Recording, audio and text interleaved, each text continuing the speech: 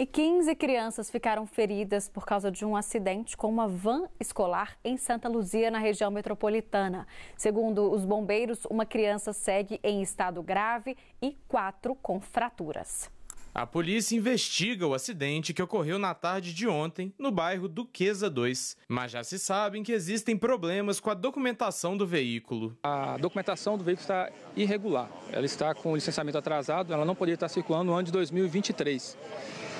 Quanto à autorização para circular com o transporte escolar, a gente está aguardando ainda a informação oficial da Prefeitura, que é o órgão responsável pela autorização e a liberação do transporte escolar no município.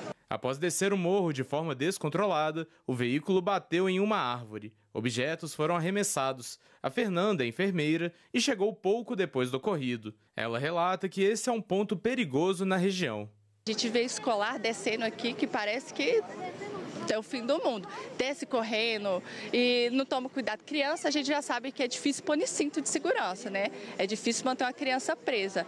E eu acho que, além de estar tá faltando uma estrutura ali para dar uma, um aparato, né? É, as vans deveriam tomar cuidado também. As formas que eles descem esses morros aí é horrível.